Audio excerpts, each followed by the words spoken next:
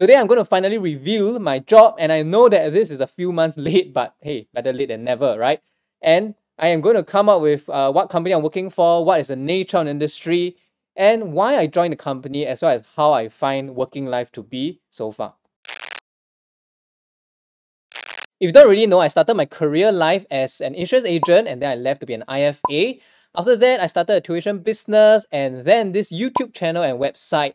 And in the middle of 2022, I started a job and people have been asking, hey, what's your job? What do you do? Right? So I'm going to answer all these questions in this video. Those who are new to my channel might not actually know that I was an insurance agent right from the start. Right after I left NS, I actually joined an insurance agency and then for about 6 to 12 months, I was there selling insurance plans. Then I realized that the ILPs and the savings plans that I was selling were really no good for my clients. Uh, they weren't good for myself, okay? I bought them myself and I realized that they were pretty crappy even with my commissions uh, given back to me. And I decided to leave to go to an IFA firm where I can actually deliver good and holistic advice to my clients.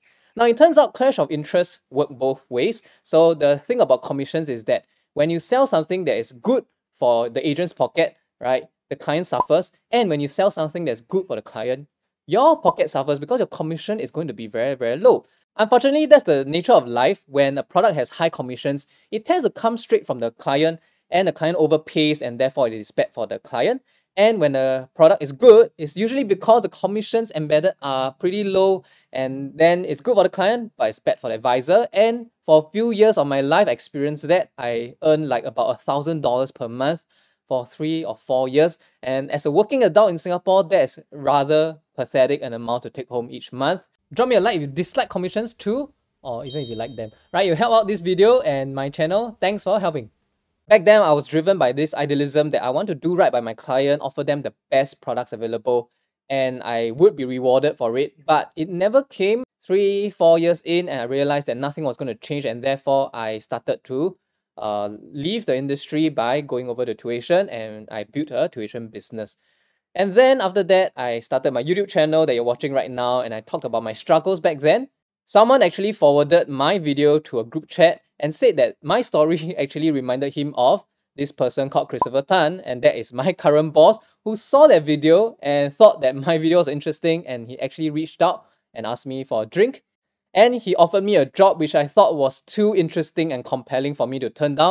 Long story short, I rejoined the financial advisory industry, and before you think that I've sold out and trying to earn commission from you, I have joined Providend, which is the first and probably still the only fee only firm, which means we don't take commissions. Instead, we charge a fee to our clients, and our clients are our sole paymaster when it comes to the financial advice we give them. So before you worry that I'm going to sell you something, this is really not the nature of my job. Uh, I'm not the kind of insurance agent at, by the MRT station say, sir, I'm not trying to sell you something, but actually they want to sell you something because I have no commission to be earned. Commissions inherently create a clash of interest between you and the person earning the commission because for the person to earn a living, he or she has to sell your product and then you have to buy it in order to support the person. But the product may not be the best, and unfortunately, that is the limitation of a commission uh, model. Whereas if you pay someone a fee and the person has the best interest of you at heart, he or she can now give you the best advice because you have already paid him or her. And that is the beauty of fee only advice. And while some people may think that fees are high and uh, in, uh, expensive, they actually have no idea how much commission they are paying when they buy subpar products with all the commissions hidden and embedded, but it still comes from the person paying for it. So fees are fair, transparent, perhaps a bit too transparent because when you know of the fee, you actually uh, balk at it, but then you are happy to buy a product that's commission embedded. So it's just human psychology. But once you get past that, fees really are the best way to go when it comes to remunerating someone for their services, especially when it comes to financial advisory. Webull has this insane deal where you get five free shares for free, and all you have to do is just fund any amount, any amount at all, and you can walk away with 5 free shares. All you have to do is sign up with this link, fund in any amount, maintain it for 30 days, and you will get 5 free shares worth up to 500 USD.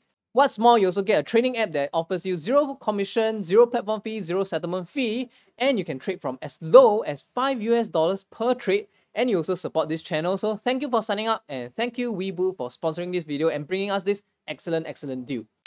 And after years and years of being in the FA industry and seeing what other people are doing, I think it's actually very, very refreshing to come into a company where they really take financial planning very seriously. They spend hours debating over things like uh, risk profiling and the types of instruments that we use, which I never really got elsewhere in the industry, except for one colleague I had way back when I first joined an IFA.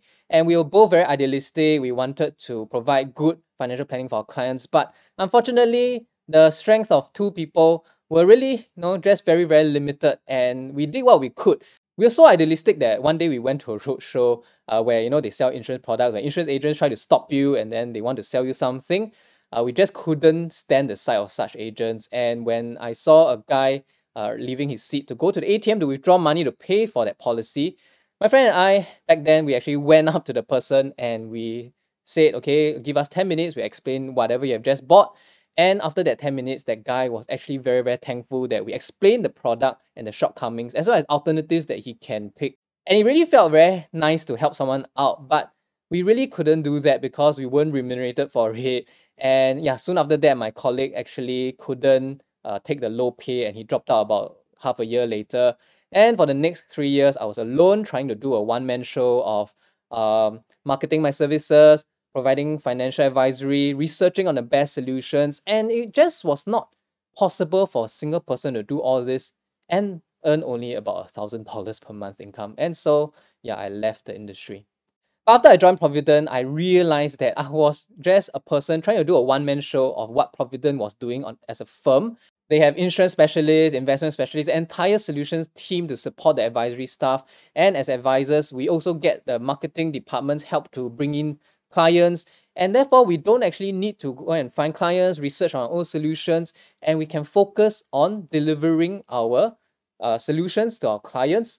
And we are remunerated by salaries, and therefore, there's no commissions for us to chase. And I find that this is such a refreshing take on financial advisory that nobody else in the industry is uh, you know, interested in doing. And it's not hard to see why other people are not doing this because commission agents can actually earn hundreds of thousands, if not even a million over dollars per year selling high commission products.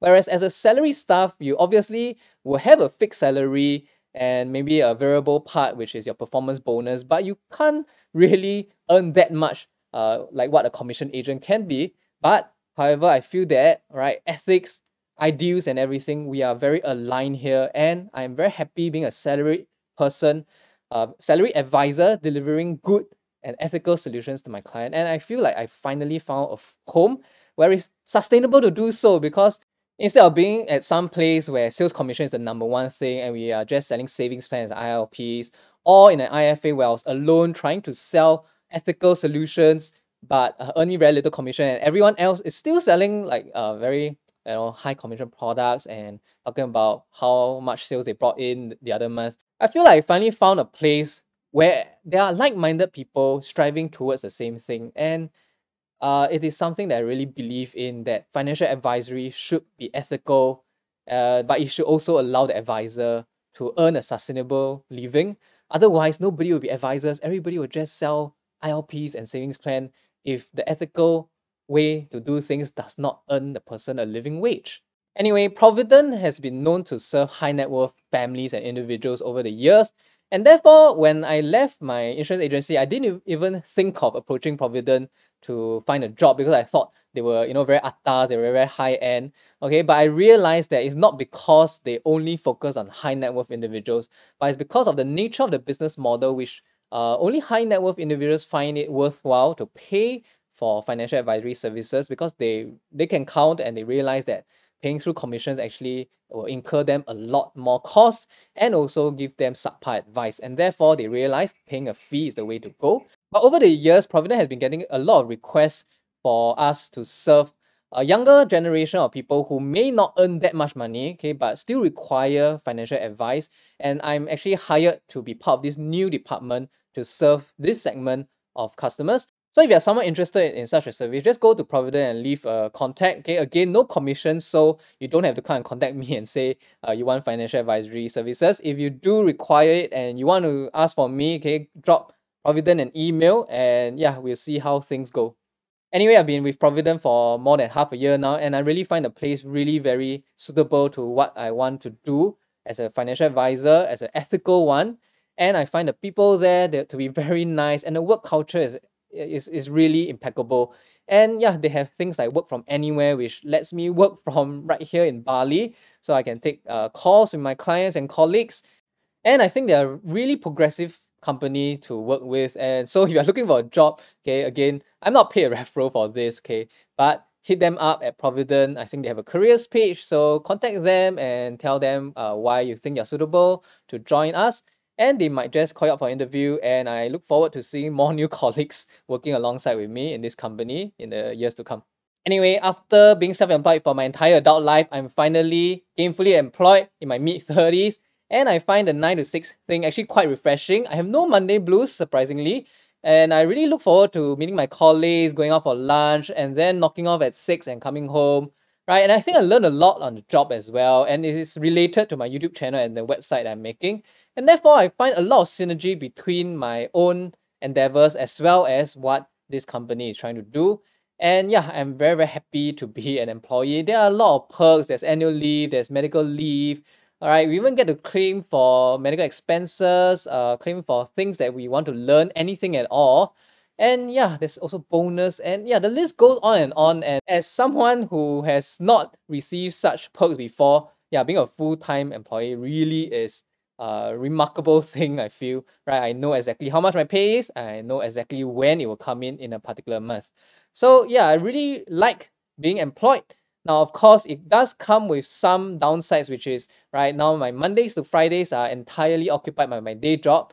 But as I mentioned, my company is progressive and I can work from anywhere. I'm right here at Bali. And I did not use a single annual leave for this because my company allows us to work from anywhere and I've applied and I'm here for a couple of weeks just to figure out uh, how things are overseas and whether I like this whole arrangement. And I can say I do quite like it, so I'm looking forward to doing more work from anywhere content in future in different countries and subscribe to my channel to watch more of such content.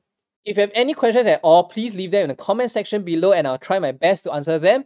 Also, I talk a lot about work, personal finance, and even great deals, so subscribe to my Telegram group and my YouTube channel. And also, tap this video to see my different income sources and this video which YouTube thinks that you really really enjoy and I'll see you in those videos.